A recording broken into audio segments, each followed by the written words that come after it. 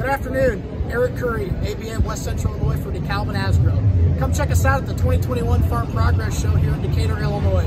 DeKalb Asgrow tent is located on the southeast side of the uh, Farm Progress Show. We got a lot of a lot of great things going on here today. Um, stop in, visit with some of our field sales representatives and technical agronomists. We're covering some of the new technologies with DeKalb Short Corn, uh, Asgrow XtendFlex, as well as some exciting new technology with HT4, Climate FieldView and our digital platform, as well as the Bayer tent, where you can take a look at some of the new and exciting traits that are up and coming. We look forward to seeing